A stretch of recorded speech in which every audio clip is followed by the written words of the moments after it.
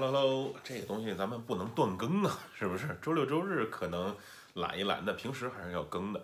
咱们聊点啥呢？聊一个上回我吃饭的事儿吧。上次我说我现在搬到了北京的西边西六环外，然后呢，我那次去找朋友吃饭，唯一的一次是在东边，对吧？我大老远去了，花了一个多小时、两个小时这么个状态。那就有朋友说，你们为什么不能找一个中间点呢？比如说找在西三环，这样的话我走一半，然后朋友走一半，在这儿吃个饭，对不对？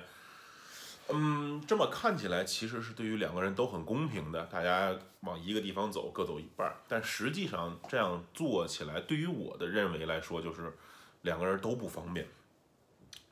比如说，如果是我去到他那儿，呃，那他是方便的，他可以完成自己的工作或者怎么样。总而言之，他是方便的，我是不方便的，只不过我不方便的程度稍微多一点。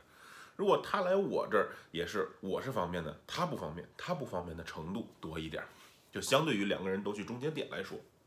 但是呢，如果两个人去中间点，我不方便，他不方便，放在一块儿，就两个人都不方便了。所以对于我来说，如果不是时间特别紧的话，那我一定是去到对方那里。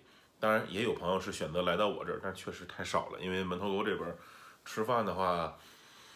可能不是那么的好找，有吗？有，但是气氛什么的，包括人家来回去也不便，我也不好意思。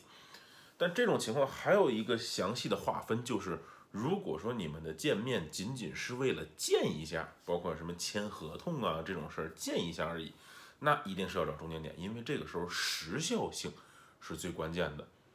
但我们是吃饭的，我们是过去以后跟人吃个饭，然后再回来呀，所以。我的理解啊，我的理解是，可着一个人不方便，另外一个人方便一点，不知道你们是不是认同？